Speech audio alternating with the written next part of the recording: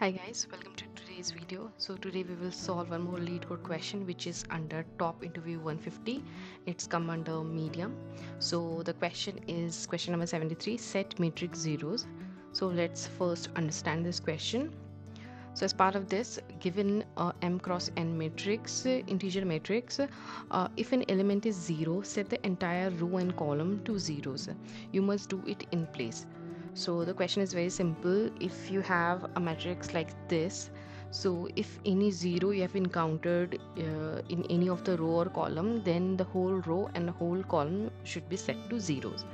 So it should not be like that that i am setting this to zero and then these all are also zeros. So only the rows and columns where the existing place it has zero the same column and the rows should be zero. Okay uh, in this second example also it is uh, uh, four three cross four matrix. So in this as well uh, the zero zero is uh, uh, has zero. So entire entire row and entire column will be zero. And the last uh, uh, row last column is also having zero. So this also has to be whole zero. And this is already zero. Okay? So i hope you understood the question. The question is very simple. And uh, uh, we need to do it in place so the return type of this uh, function is will be void. And let's uh, see the constraints. So as part of constraints uh, it will have uh, m will be greater than m and n both will be greater than 1 so we don't have to take care of any null checks. So so uh, if you see the follow-up uh, it is saying a straightforward solution would be using m cross n space which is probably a bad idea. The second point is a simple improvement uses uh, O of m plus n space but still is not the best solution. Could we devise a constant space solution?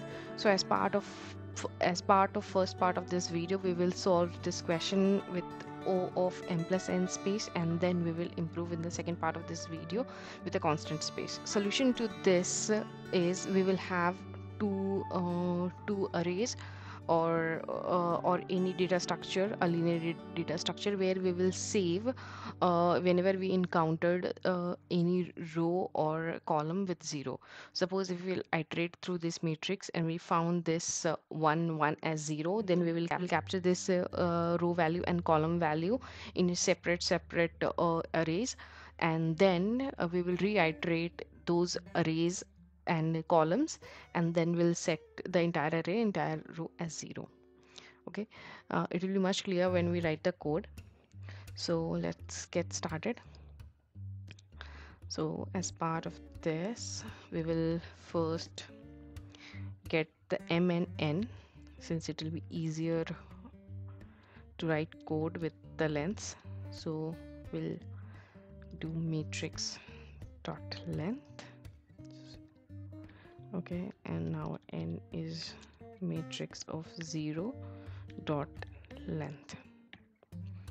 Okay now we'll use set of integer for capturing our rows which is having zeros okay?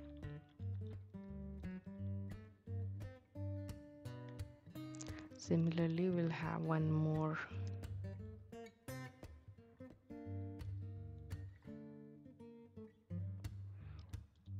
set with columns.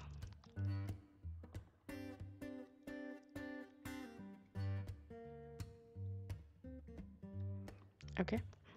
Now we'll iterate to the matrix with two variables i and j.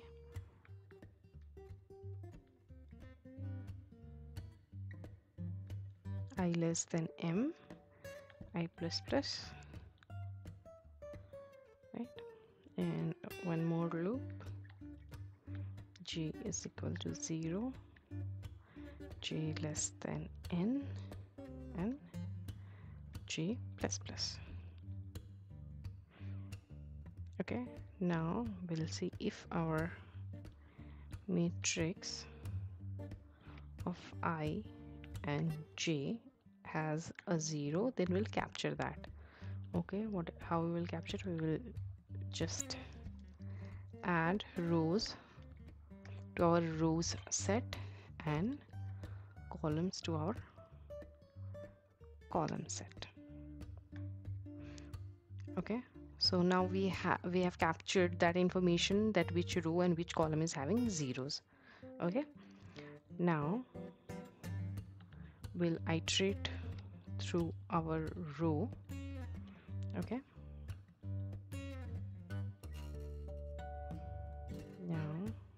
for for these rows all the columns will be 0 so int i equal to 0 i less than n. Here it will be n because if this row I have to make suppose this one is 0 and I have to make this entire uh, row as 0 then row number remains the same. The columns will change right? It is 0 1 2 so we need to iterate through the columns and this from here I, we will get the rows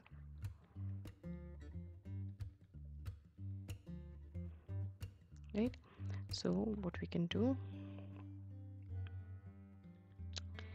Matrix of row number we are getting from here and this is our column. We'll set it to 0 okay? Similarly for the columns we have captured okay?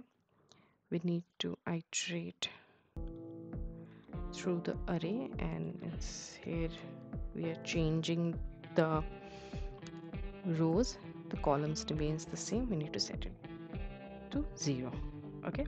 Because if you want to set for this all the rows 0 then the row number will change and here it will be row number okay? So let's test this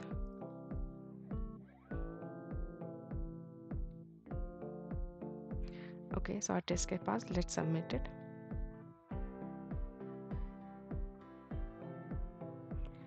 Yeah, great. So it worked. Okay now we need to uh, we need to change it according to the description right? Can we devise into the constant space as a follow-up we need to do it in constant space. Is it possible or not? You can try it by yourself. I will see you in the next part of this video with the constant space solution thank you